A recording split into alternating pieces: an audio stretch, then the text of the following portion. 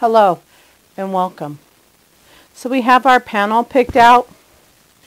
We have it all planned out on what size squares we're going to use, what size window panes we're going to use. If you missed that video, check it out after this one right here that walks you through on how we chose our panel and how we decided how big we wanted the squares to be, the windows, and the window panes. So now we need to start cutting this up. So come along and let's cut this up so we can start piecing it together. Just create with fabric and floss. Okay, so the first thing that we need to do is kind to kind of straighten it out on and square it up. So I did that on two sides here and I left it on the extra ends just that way it's I have that extra leadway. And so now we know we want this moose in one square. So I took my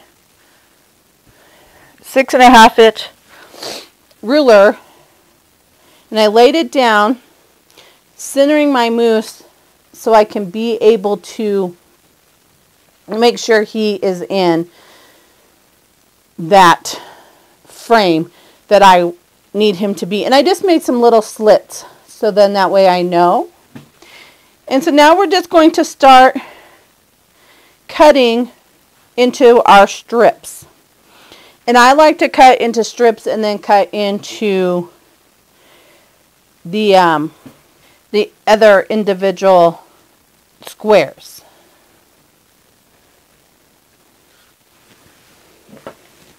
And because we have a few inches, an inch or so to play around with, I am actually going to cut a sliver off right here. And I'm going through the whole panel because you want it to make sure that it's lining up throughout the whole design. You don't want it crooked. So yeah, it's just a little, about a quarter inch I cut off. Which the window pane is going to go in there so it won't make that big of a difference.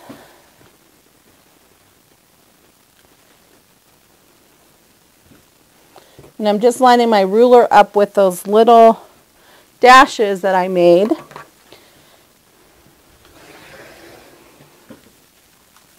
And so you want to keep it laid out. As you're cutting, you don't want to mix up your pieces. You want to make sure that you leave them in the orientation that they're supposed to go. And I have it folded in half. That way I can make sure to be able to, I'm cutting through and keeping it all straight. So we should have five strips. And then you're going to cut this way the same measurement that you cut your strips in. So what I like to do is take and lay them down in the orientation that they're supposed to go.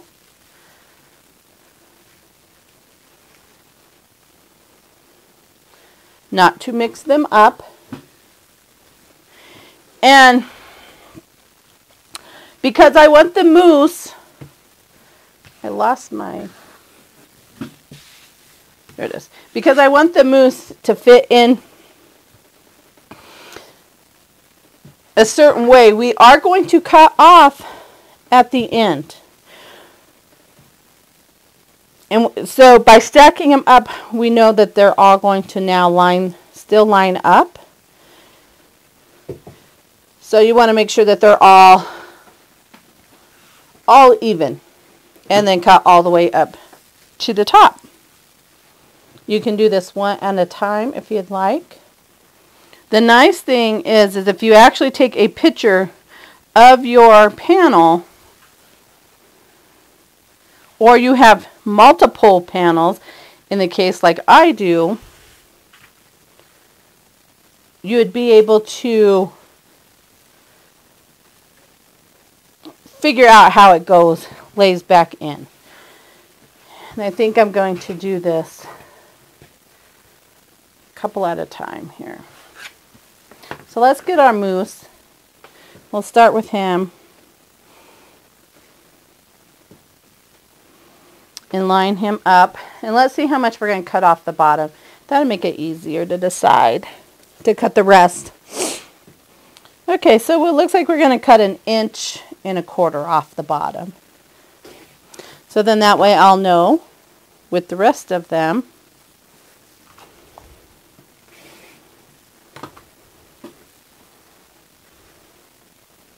And so here is the moose block. And now I'm just going to cut off the rest and stack them in the orientation that they need to go. Now I just got a flannel back tablecloth up and I just laid them out so I can see and have them in the right orientation so my design don't get mixed up when I start to sew them together.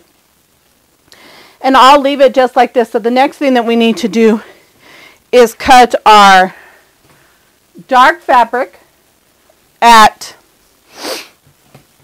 however wide you're making your window panes. So mine I have to cut at one and a half inches. And these are going to go across the bottom here. And then the tan, we're going to cut at one and a half, and it's going to come down the side. And they're going to come onto the left-hand side because as you see, the sun is coming, or the light is coming in this direction as per the highlights and the shadows on the moose. And so that's how we want, so this side of the window pane is going to be lit up. So that's why we want to cut it that way.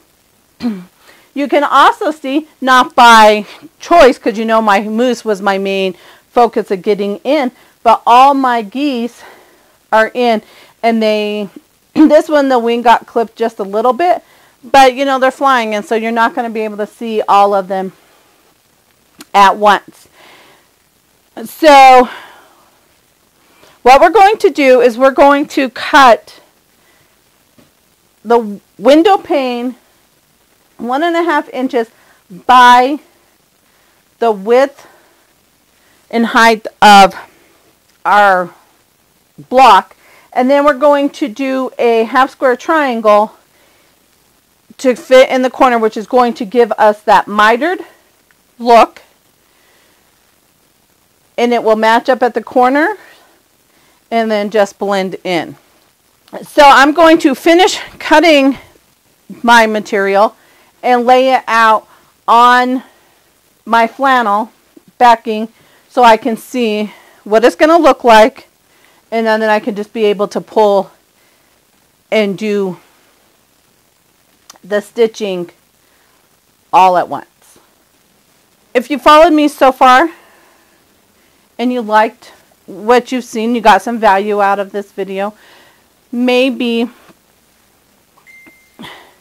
give it a thumbs up and share it with your friends so they can learn how to create a beautiful quilt top with using a panel. So here you can get the gist of what it's going to look like. And you can see the little squares that have nothing there. That's where we're going to put our half square triangles. And I will put a link in the description below, but there's also a card up here at the top where we're going to make eight half square triangles at one time. So make it a lot easier to make all these half square triangles. so this is how I'm laying out my panel for this quilt top. And if you stayed with me through the whole video, I appreciate it from the bottom of my heart.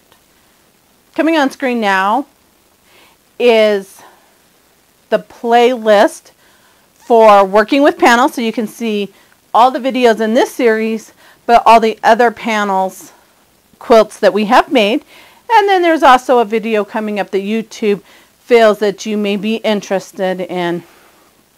And be sure to hit that subscribe button and that notification bell. And check down in the description there's many of ways that you can support this channel even further so I can continue to bring you great tutorials on how to create beautiful quilts by using panels. Until then, happy quilting, my friends.